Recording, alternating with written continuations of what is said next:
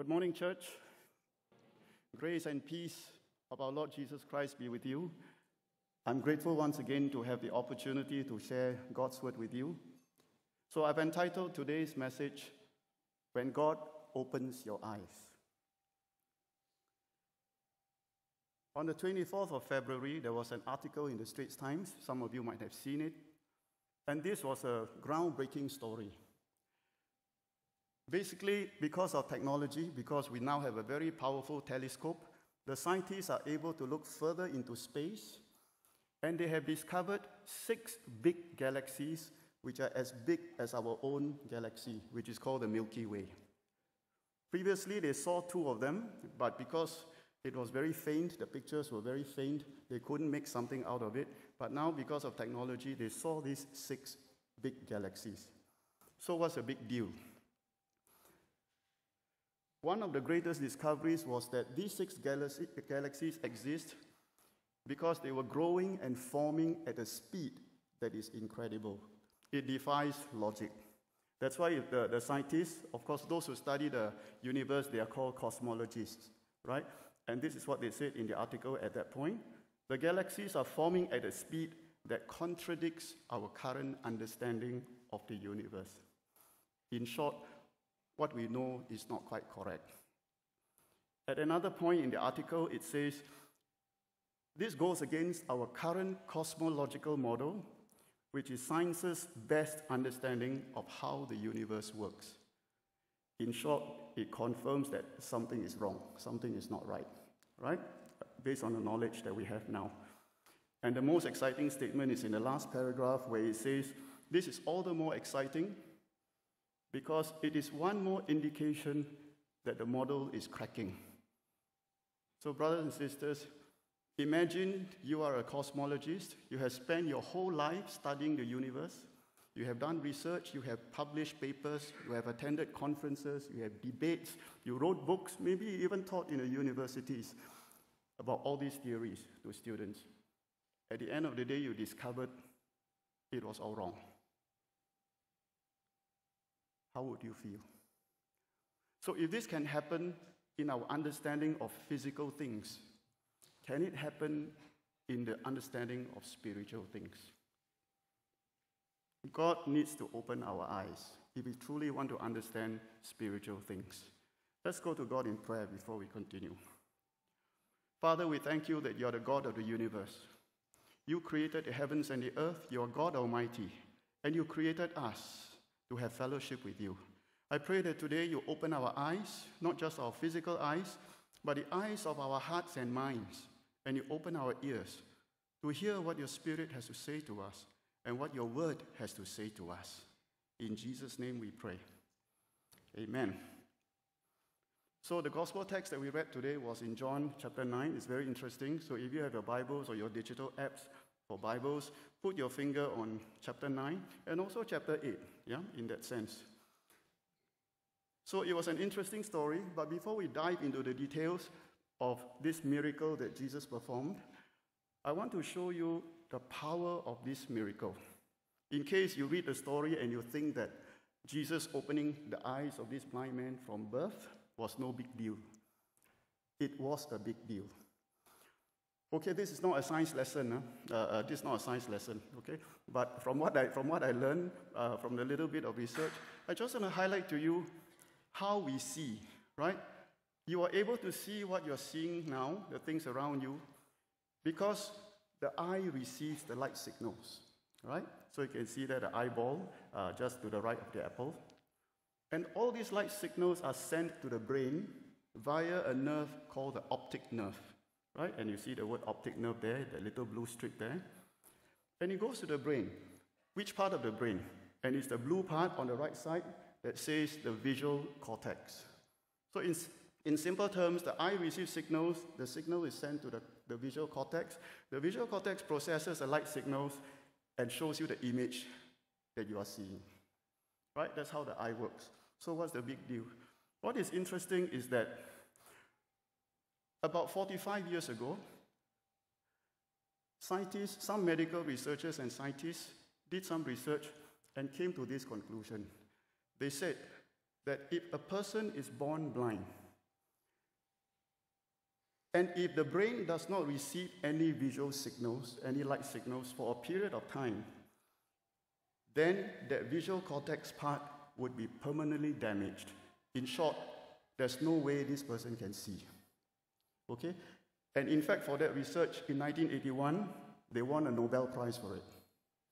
And so it was understood that for human beings, if a baby is born blind, by the time you are six to eight years old, if you're still blind, your visual cortex will be permanently damaged. There's no hope.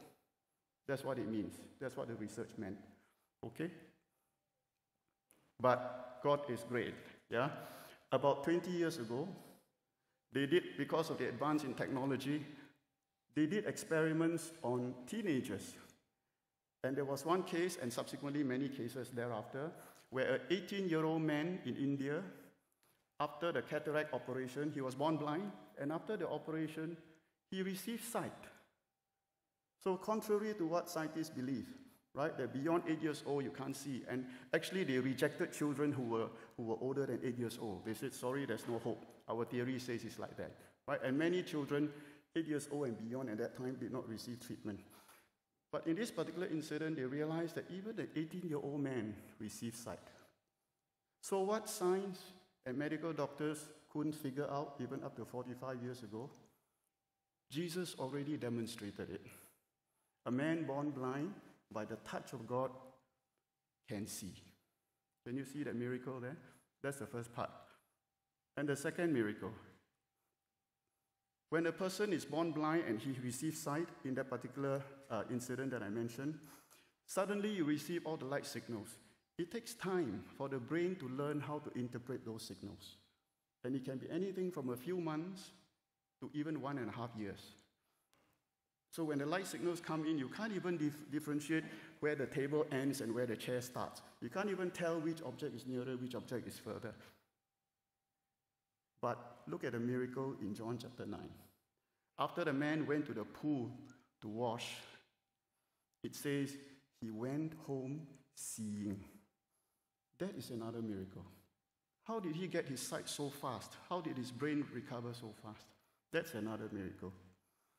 And as science would have proven it, when they did the experiment on the 18 year old guy, they realized that the visual cortex, the composition of the visual cortex for a man born blind and that of people like us who have normal sight are the same. And the connections in different parts of that brain are exactly the same. So there you go, you can see what a miracle it was in John chapter 9. Okay, so with that context, I'd like to delve into the details. Let's dive into the story in John chapter 9 and see what we can learn from there. So, to relate the story, Jesus saw this man in verses 1 to 5. He saw the man who was born blind. He spit on the ground, made some mud put on his eyes, right? And then he told the man, Go to the pool of Siloam and wash. Throughout this story, I'd like you to put yourself in the shoes of the blind man. Imagine you were the blind man. Okay, sitting there blind, somebody suddenly put something in your eyes and tell you, go and wash. Probably you might be thinking, who is this guy? Why must go and wash, right? Yeah? But the man went. Okay, so he went, as the story told us, he went.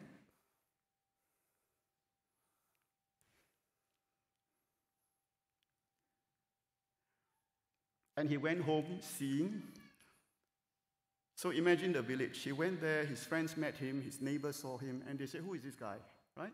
So I like to freeze the scene there in that village when the man entered the village. So the neighbors saw him, Who is this guy? Is it that guy? Some say yes, some say no. And of course, the man confirmed, Yes, I'm the person. Right? What would you expect to happen in such a situation like that? Shouldn't it, shouldn't it, be, shouldn't it be a time of rejoicing? The, neighbor, the neighbors will be so happy.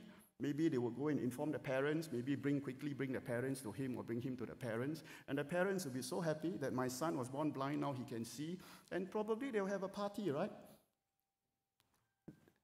That's what should happen in normal circumstances. There should be great rejoicing. Wow, fantastic. Yeah, other than, of course, asking him a few questions who healed you? And you said, Jesus healed me, he did this to me. And that's it. But what's more important would be the rejoicing. But none of that happened. So, what happened there? His friends dragged him to the Pharisees, the religious leaders, to confirm whether, you know, this guy can really can see and who healed him. So instead of rejoicing, instead of party, he was being, being dragged to the Pharisees for an investigation. And then the Pharisees questioned him, and he told them very, very briefly what happened, but the Pharisees did not believe, right? He did, could not believe that this man was born blind and that he has received his sight. And so, what did, what did the Pharisees do? They summoned his parents. So the parents were now dragged to the Pharisees as well. Yeah, because the Pharisees wanted to confirm is this your son? Was he born blind? Can he now see? And the, the, the parents say, Yes, this is our son. He was born blind. Now he can see. And here is the, the interesting part. The Pharisees asked the parents, How come he can see? Because the Pharisees couldn't get an answer from the blind man, now they ask the parents. And what did the parents say? The parents say, We know he's our son, we know he was born blind, we know now he can see, but how he can see, I don't know. He is of age, he's old enough. Ask him. The parents did not dare to say that Jesus was the person. They did not acknowledge, did not dare acknowledge that Jesus was the Messiah, because at that time, the religious leaders, the Pharisees, had decided that anyone who said that Jesus is the Messiah will be put out of the synagogue. In modern terms, out of the church. No more church membership for you. That was what it meant. That's why the parents did not acknowledge that. So, what should have been a time of rejoicing was the mood was spoiled and damaged by two ugly sins that each one of us has. One is the pride of man. The religious leaders, right? Where they asked the man, Who healed you? Because Jesus healed the man on Sabbath day. And Sabbath day, according to their, the, the Judaism, they are not supposed to work. So even healing somebody was considered work. So they said, since Jesus healed you on Sabbath day, Jesus has broken the law, and if he has broken the law, he's a sinner. And if he's a sinner, he cannot be God. And if he's not God, he couldn't have healed you. You see the logic there? So, to the Pharisees, they thought that they knew God better, they, or they knew better than God. That it cannot be that this miracle happened. The pride of life, the pride of their own knowledge. That's one. The other ugly trait of our humankind is the fear of man. The parents, Instead of being happy, instead of acknowledging that, yes, Jesus healed my boy, Jesus healed my son, they said he's of age, ask him. They were fearful of being put out of the synagogue. So, church membership was more important to them than recognizing that the Almighty has visited them and a miracle has happened. So, they were basically looking for the approval of man rather than the approval of God. Right? So these two, these two things, I'm sure we can identify with it. The pride of life, our own pride, our own fear of man, we want the approval of man rather than approval of God, will cause our eyes to be shut to the things of God. Why? Because our spiritual eyes are naturally closed to the things of God. And I can imagine three aspects. We are naturally closed to the power and presence of God. So when the, when the Pharisees decided that no, this is not God, I think I know better, yeah, when our eyes are closed, we miss the opportunity to invite God's presence and power into our situation. What did verse 3 says? When the disciples asked Jesus, Did this man sin? Did his parents sin? Jesus said, No, this happened so that the works of God may be displayed. So every situation in our life can be an opportunity for God to demonstrate His power and His presence. So if our eyes are shut, we are shut, we are shutting ourselves from this opportunity. Is there a situation in your life where you need to, where you think, where you think it's impossible for God to solve? Nothing is impossible with God. Use it as an opportunity to invite God's presence and power. Let God display His glory in resolving your situation. That's the first one. In the second one, if we choose to refuse to have our eyes open, we choose to have our eyes shut, then we miss the opportunity for God to clear our mind and heart of any preconceptions. Preconceptions are ideas and principles or even beliefs that you hold on to that may not be true. We think we know better. We are so proud about it. We even teach it. Maybe you even tell somebody about it. You try to influence others about it, your own beliefs, your own preconceptions. You have certain ways of thinking how God should work. But God's ways are not our ways. His thoughts are not our thoughts. Who are we to judge God? So, with our preconceptions, we not only stumble ourselves, we also stumble other people. Look at the Pharisees in this situation in verses 24 to 34, right? The parents were dragged to the Pharisees. So the Pharisees asked the parents, we know already how the parents responded. They turned to the blind man again. How did you get healed? The blind man had wisdom. The blind man said, How come you keep asking me? I already told you. Do you want to be Jesus' disciples? And that got them really angry, yeah, because they were very proud that they were the disciples of Moses, yeah. So, so they said, You are steeped in sin. How dare you lecture us? The Pharisees had no answer. They were going on in a circular argument, right? You heal on Jesus healed on Sabbath, therefore he broke the law. He broke the law, he's a sinner. If he's a sinner, he cannot be God. If he's not God, he cannot heal. They keep going round and round and they had no answer. So they kept, kept asking the man, How did you get healed? And that's sometimes how God uses the simple folks of the world to confound the wise. Listen to what the young, the blind man said. This is remarkable. How come you don't know? Uh, if you don't know, who knows? In essence, that's, that's the meaning of his reply, right? Whether this, whether this guy is a sinner or not, this person, Jesus, is a sinner or not, I don't know. But one thing I know God only listens to godly people who does his will. God will not listen to sinners, right?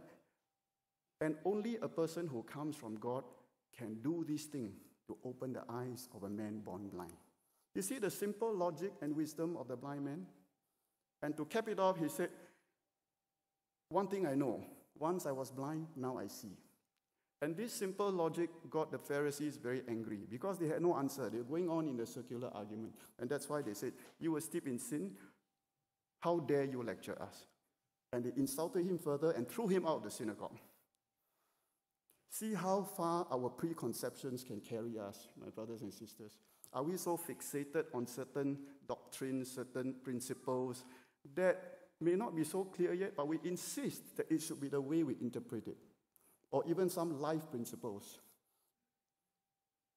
This is something for us to consider. And the third aspect where we may miss, because when our eyes are shut, we miss the opportunity for God to give us abundant life. And the third aspect is God's plan for our life. Imagine the, blind man again. Jesus told him, Go and wash, right? As a true blue Singaporean, our attitude is, why must I listen to you? Who are you? Right? I can't even see you in the first place. Who is this guy? But he went. Interestingly, the, the name of the pool is called Siloam, which means sent. So just as the blind man was sent by Jesus to the pool, it also tells us, it also tells us that Jesus was sent by the Father. So Jesus probably saw through the heart of this blind man. He knew that he has the faith to believe that the Father has sent him, sent Jesus. And therefore, if Jesus tells me to go and wash, I will go and wash. Right? So, and then you imagine what if the blind man did not obey Jesus' instructions? What if he said, I'm blind, no? still must walk to the pool? Ah. Still must navigate to the pool? Ah. It's quite a challenge, right? Yeah, we can't appreciate it now. We are normal sighted people, but I'm blind and must go there. And at that time, it was there were many, many people there. So maybe he could be thinking, why can't I just take a cloth and wipe it off? Or maybe he's thinking, anybody has any water? Can somebody give me something? Or maybe with his own saliva, he could clean it off. I'm just thinking, right? Or maybe he could ask somebody to help him get some water to clean off. If he had done any of these, except to go to the pool of Siloam, he would not have regained his sight. So when God opens our eyes, all we need to do is faith to trust Jesus and obey his instructions. When God has revealed something to you in your life, whatever it is, what is God instructing you to do? Is He telling you to do something, to stop doing something, to start, to start doing something? Is He telling you to take an emergency corner and swerve the corner to avoid the danger ahead? Maybe you're heading for destruction, for example. Maybe it's a relationship, maybe it's a new job or whatever, right? Or maybe it's a desire or a craving for something. God is telling you it's danger ahead. Swerve, turn away. Or is God telling you to switch lanes? Switch lanes. Are you chasing worldliness or are you chasing the word? Are you chasing after gold or are you chasing after God? God is asking to switch lanes. So if we do not have our eyes open, we miss all these three opportunities. The opportunity to see God display his glory by intervening in the situation, opportunity for God to remove our preconceptions. We prefer to hold on to them, yeah, and we miss the opportunity. And the opportunity to walk in his plan for us. God has given us a Holy Spirit to guide us. God can open our eyes. So, how and why does God open our eyes? I can think of a few reasons. Of course, God can open our eyes, number one, through the story that we read. Jesus can touch us, right? In this, this case, the physical touch of Jesus. He can open our eyes through the word. That's why the Bible says, the entrance of your word gives light. That's why we read the Bible. The Bible is not just a written word, it's a living word of God. God can open our eyes, right? I'm sure there are situations where you read the Bible and suddenly that verse or that passage or the, the idea pops out at you. That's a, that's living word of God at work. God can open our eyes. He can open our eyes through the Holy Spirit. Holy Spirit is living in us. He guides us. He's our comforter. Bible says he, when he comes, he guides us into all truth. The word is all, not some. He can guide, guide us into all truth. And the third way that God can open our eyes could be through dreams and visions. Right? In the Bible, there are many examples of dreams and visions, especially the prophets and so on in the Old Testament. In the New Testament, a typical example would be Ananias. Remember? And Ananias wasn't a prophet, it's just mentioned that he's a disciple, ordinary disciple. Right? God told him, go and look for, for a person named Saul. Yeah, I've already shown to Saul that there's a person called Ananias coming to touch him and help him restore uh, his sight, help you restore your sight. Right? So Ananias went, and Saul restored his sight, and the rest is history. Right? God can reveal himself to us, can open our eyes through dreams and visions. And I know that some of us in the congregation here, we are blessed with that gift. You can see visions, you have dreams. Be careful to interpret that in the light of the scripture. Okay? But it is a means that God can open our eyes. So don't be afraid of dreams and visions. Don't be afraid of the Holy Spirit. Spend time in the Word. God will open our eyes. And why does He open our eyes? I believe that He opens our eyes to reveal what He has done, what Jesus has done on the cross. He died on the cross so that we can have forgiveness of sins salvation, healing, deliverance. What he has done 2,000 years ago. It's not a fairy tale, it's a fact. And he wants to reveal to us what he's doing as well. What he's, do- what he's doing in our lives and in the lives of people around us. If you go around the congregation and talk to people and fellowship with people, you'll be able to listen to very interesting testimonies of how God touched different lives. God is alive, He's moving. And the third, third area why, why he opens our eyes is also to show us what he will do. We are living in the end times. We know that we are living in the end times when Jesus is going to come anytime. We don't know when. But we are equipping the church. We're building up the church. We're encouraging one another. We are to be prepared to meet God face to face. If we are fortunate and Jesus tarries, maybe we might even not see death, right? We don't know. Yeah? So God wants to open our eyes to review what He has done so that we can understand the impact of what Jesus has done on the cross for us. So that we know our identity as God's children. We are forgiven, we are saved, we are healed, we are delivered. And by doing all this, we exalt the name of Jesus, right? God sent Jesus into the world. He says, This is my beloved, beloved Son. yeah, with whom I'm well pleased. And we know that we are going to exalt the name of Jesus. He's coming again as a, as a king in the second coming to exalt the name of Jesus. And Jesus' name is above every other name. And he has paid a great price for it. He is deserving of that praise and glory and that exaltation. So God does not just want to open our eyes, He wants to give us wholeness in our being, in spirit, in soul, and body for what He has done on the cross 2,000 years ago.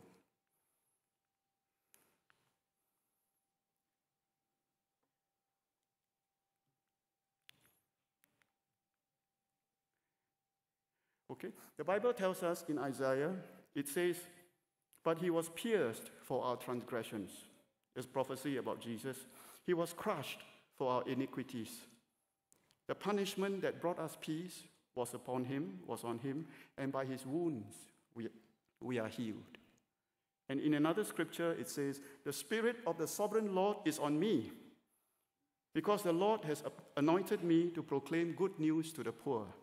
He has sent me to bind up the brokenhearted, to proclaim freedom for the captives, and release from darkness for prisoners. That is the reason why Jesus died on the cross to set captives free, to move us from darkness into the kingdom of light. So, brothers and sisters, this is good news, right? This is good news for us.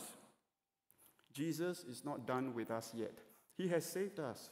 But some of us need healing, some of us need deliverance and, and, and other issues in life. Jesus is not done with us yet because he wants to make us whole. We want Jesus to open our eyes so that we can see what he has done for us, so that we can put our trust fully on him. And this is shown in the, in the story. Towards the end of the story for the blind man, you remember the blind man was thrown out of the synagogue, right? Because the, the religious leaders are fed up with him for uh, making them look not so clever, right? In that sense, yeah. And Jesus found him again. So you see, at first Jesus saw the man, he healed him, and then he went through the whole episode of debating with the religious leaders, and he got thrown out. And Jesus found him again, and he sat down with him to talk to him face to face. Listen to that conversation. Jesus asked him, Do you believe in the Son of Man? And this is a critical question for all of us. Do you believe in the Son of Man? And the man said, Who is he, sir? Tell me so that I may believe in him. Jesus knew that his heart was ready. And then Jesus said, You have now seen him. In fact, he is the one speaking with you. Brothers and sisters, if there's a stirring in your heart, Jesus is the one speaking with you right now. And the man said, Lord, I believe. These are the, probably the three most important words in our Christian life. Lord, I believe. Because if you believe, anything can happen. If you believe, you will pray according to God's will. God will answer your prayers. If you believe, you will seek the Holy Spirit. Holy Spirit will guide you and fill you. If you believe, you can do wonders for God. That's what Jesus said. Greater things than these will you do. Lord, I believe. How will we respond? Let's ask Jesus to open our eyes.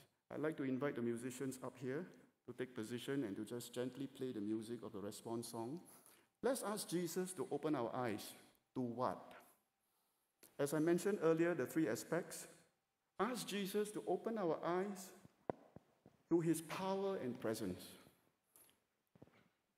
Whatever situations you are facing right now, be it a medical situation, a financial situation, or other situations. Bring it to Jesus. See it as an opportunity for God's presence and power to be displayed. That's the first thing we can do. So perhaps you can just close your eyes for a few seconds and think of that situation that you think is impossible, that person, that place, that event, that happening, that condition. You think that is impossible. Bring it to God right now and say, Dear God, I bring that situation before you right now. That person, that place, that event, that condition. I know that this is a chance for you to display your power. Give me faith to hand over that matter to you so that you can display your power and glorify God.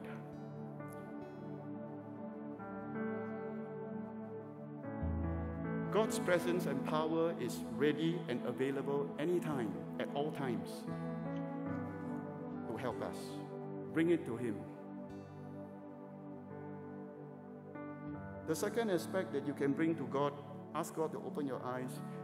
Tell God honestly, what are some preconceptions you have? What are some ideas and fixations that you have that is not helping you? It may even be creating problems in your relationships or even in your mind. Bring it before God. God's ways are higher than our ways, His thoughts than our thoughts. Don't hang on to those preconceptions that stumble your own faith and maybe even stumble other people. Do we have any preconceptions that are not right in the sight of God? The third area that you might want to consider what is God asking you to do? He has a plan for our lives. Is God asking you to stop doing something? Think of that something that you can, you should, you, God is asking you to stop, or something that you want to start doing today, not three years later. Stop doing today, start doing today. Is God showing you some danger ahead? Maybe it's a relationship, maybe it's a job opportunity that you shouldn't even take, for example. He's asking you to make an emergency turn, maybe a U turn, to swerve, quickly swerve, and turn away from evil and destruction. Is He asking you to switch lanes? Which road are you on? Are you on the road to godliness or are you on the road to gold and silver? Are you on the road to worldliness or are you on the road to understanding and digging into the Word of God. The difference between goal and God is the letter L. The difference between world and word is also the letter L. And it's a very bad letter there. It signifies love of the world. If you remove love of the world from your life, you will have God and His Word as a central focus of your lives. So I pray that as we meditate on this, ask God to open our eyes how can His presence and power help us and glorify God in our situation? What kind of preconceptions should we throw away that are not glorifying to Him? And how can we move into His plan for our lives? Hallelujah.